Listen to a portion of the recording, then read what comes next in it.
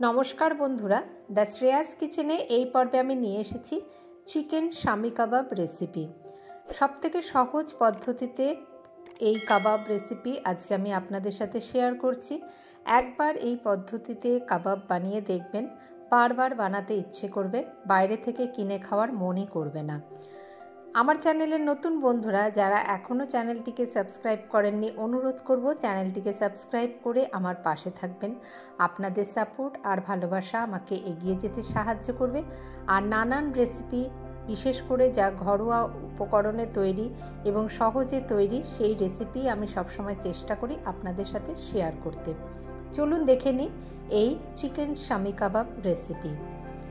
এর জন্য আমরা প্রথমে একটা মশলা আমি একটু গুঁড়ো করে নিচ্ছি।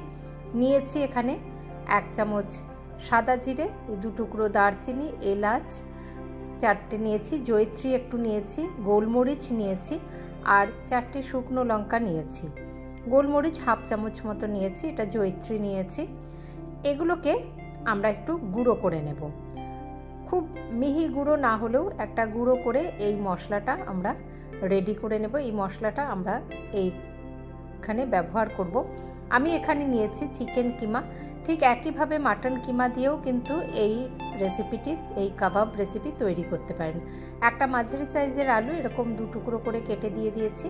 আর এখানে নিয়েছি আমি ছোলার ডাল। ছোলার ডালটা ঘণ্টা দুয়েক একটু ভিজিয়ে রেখেছি।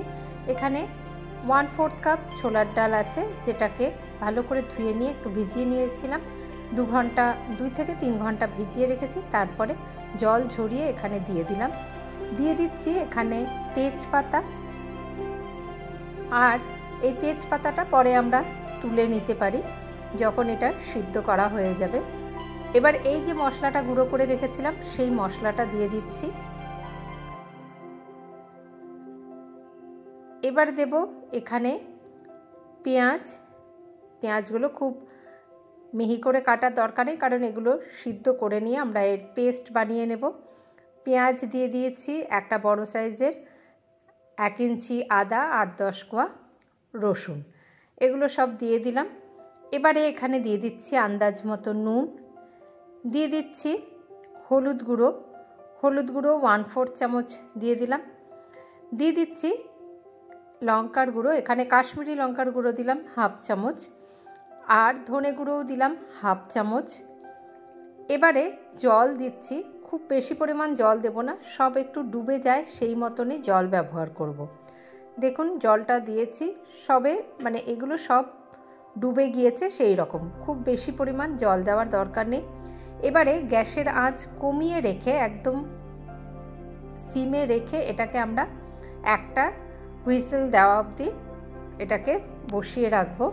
তারপরেও আবার গ্যাসের আঁচ কমিয়ে আমরা এটাকে অন্তত পাঁচ থেকে দশ মিনিট রান্না করে নেব, যাতে পুরো এটা ভালোভাবে সিদ্ধও হয়ে যাবে এবং জলটা যেন শুকিয়ে যায়। গ্যাসের আঁচটা কমিয়ে দিয়েই কিন্তু এটাকে আমরা সিদ্ধ হতে দেব।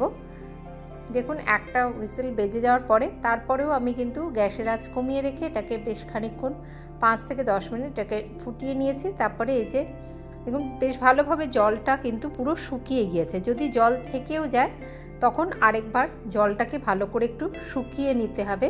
এই তেজপাতাটা আমরা এখান থেকে বের করে নেব। তারপরে সব ভালোভাবে মোটামুটি সিদ্ধ হয়ে গিয়েছে। এটাকে একটু ঠান্ডা করে এর একটা পেস্ট তৈরি করে নেব।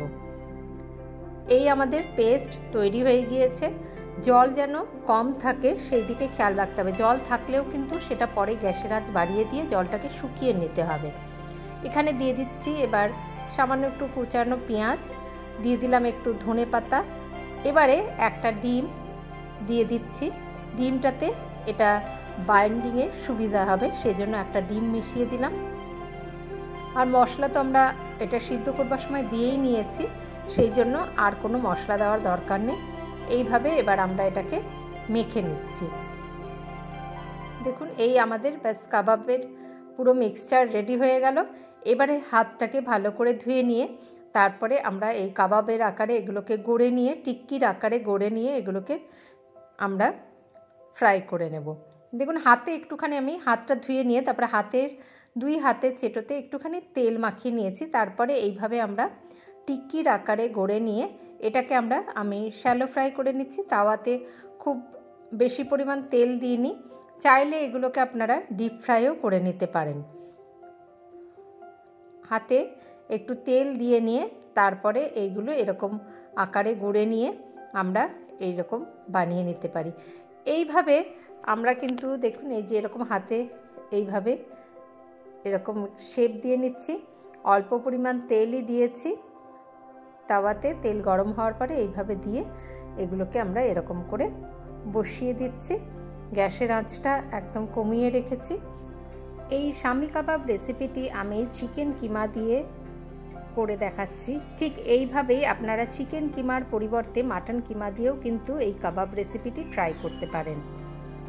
সবথেকে সহজে তৈরি এই চিকেন স্বামী কাবাব রেসিপিটি একবার নিশ্চয়ই ট্রাই করবেন। আশা করি ভালো লাগবে।